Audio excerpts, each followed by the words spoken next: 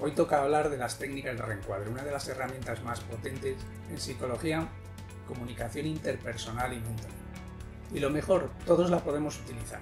Cuando tratamos de colaborar con los demás, ayudar a algún familiar que pueda tener un bloqueo emocional o incluso en esas conversaciones con nosotros mismos para que sean lo más provechosas posible. El valor de las técnicas de reencuadre fundamentalmente radica en la posibilidad de observar las situaciones, analizar los problemas desde distintos puntos de vista. Eso nos posibilita superar los bloqueos para avanzar lo más positivamente posible hacia las soluciones. Una misma situación, un mismo problema depende mucho del marco que le colocamos para poderla analizar, del punto de vista desde el cual estamos observando y también del zoom más cercano, más lejano que en un momento determinado podemos hacer de los diferentes elementos que tienen que ver con esa situación. Por ejemplo, ¿esto qué es? ¿Esto es una piedra? ¿Esto es una pared? ¿O esto es una catedral? Y estas son las 10 principales técnicas de reencuadre que puedes utilizar. Te vamos a dejar una infografía resumen de estas 10 técnicas en los comentarios del vídeo. Bájatela, si te está gustando este vídeo por favor dale al like y si aún todavía no lo has hecho acuérdate de suscribirte. Primera técnica. Recuerda que las personas con las que tenemos problemas, conflictos o potenciales conflictos también pueden guardar loables intenciones, aunque de camino a esas intenciones nos puedan estar produciendo ciertos conflictos, rivalidades, con lo cual este es un primer filtro. Cuando vayas a tener un problema con otra persona, piensa si en realidad esa persona, en su forma de ver las cosas, en sus esquemas mentales, su propósito en realidad es una buena intención independientemente de que las formas estén produciendo conflictos con las personas que tienen alrededor.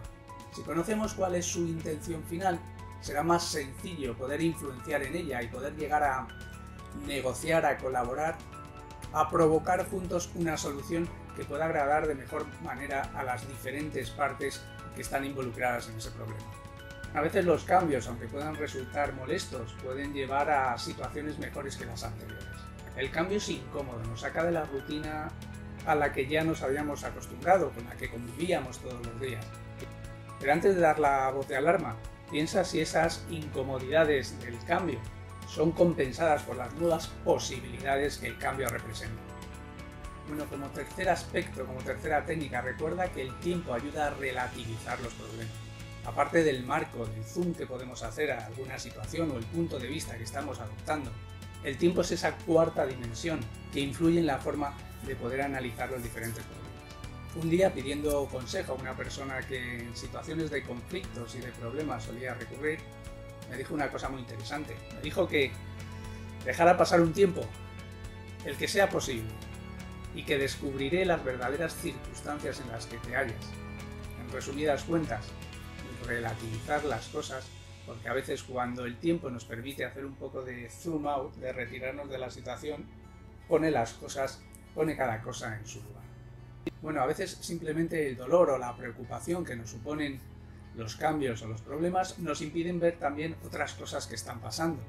No se puede generalizar con que todo es malo. Normalmente, incluso las rachas más negativas que existen suelen llevar aparejados aspectos positivos, y recientemente aspectos tan dramáticos como podrían ser un confinamiento, nos hemos dado cuenta que nos ha dado la posibilidad también de tener conversaciones y de poder compartir tiempo que con ciertos familiares y amigos antes no teníamos tanta posibilidad. Simplemente porque el día a día nos comía y no nos permitía lo que el confinamiento en cierta manera sí que nos ha permitido que es eh, parar, pensar. Siempre analicemos la parte positiva de las cosas que nos están ocurriendo.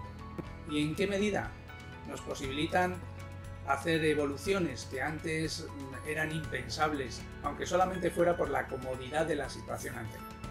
Mira los pequeños detalles, los cambios de hábito que nos permiten hacer cosas que antes no nos permitía nuestra vida, aunque la consideráramos feliz. A veces en esos pequeños detalles están las oportunidades, ya sabes por otros mismos vídeos de este canal, toda la corriente del positivismo me da bastante reparo, porque a veces lo que nos ocurren son simplemente desgracias. Son aspectos que nunca se pueden solucionar con un anímate o hay gente que está peor. Pero eso no significa que también tengamos que hacer un esfuerzo por ayudar a que pasen las transiciones, por otra parte, inevitables en nuestra vida. A veces hay que tomarse un tiempo, hay que alejarse de las situaciones, siempre y cuando nos estén llevando a un bloqueo en el cual pensemos que no vamos a poder solucionar nada. Ahí poner distancia o poner tiempo es uno de los recursos que mejor pueden funcionar. Se trata de retirarse, de ver las cosas de un punto más general y poder hacer balance entre lo que realmente es malo y puede ser mejor. Recuerda que tenemos un enemigo fatídico, ya lo hemos hablado en otros vídeos de este canal, que es nuestro ego. A veces las cosas no son grandes desgracias de forma objetiva. Es simplemente que atenta contra nuestro ego, contra las opiniones que hemos vertido, contra nuestras posiciones. Y rectificar esas posiciones y el comernos el orgullo a veces puede ser lo más complicado de todo. Siempre es muy sano además que cuestionemos nuestro umbral del conflicto. No hay nada más estresante que poner el umbral del conflicto, el listón de los problemas, demasiado bajo. De manera que cualquier cosa puede suponernos una molestia o puede suponernos un potencial conflicto. Revisa cuál es el umbral de tu conflicto y trata de fluir un poco más para que las cosas no te afecten tanto, tanto contigo mismo como en la interrelación con los demás.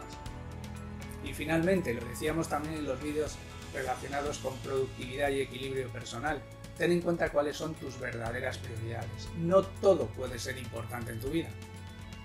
Con lo cual, dedica tu energía, dedica tu esfuerzo a pelear, a enfrentarte realmente a las cuestiones que son esenciales, las cuales solamente cada uno las conocemos.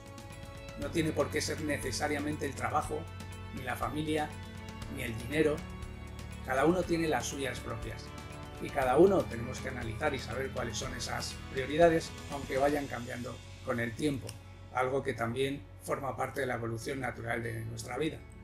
Espero que te haya resultado interesante y te haya resultado útil este vídeo acerca de las técnicas de reencuadre. Recuerda que cada semana estamos publicando vídeos para que mejores tus competencias personales y ayudes a tu organización a alcanzar mejor sus expectativas. Hasta muy pronto.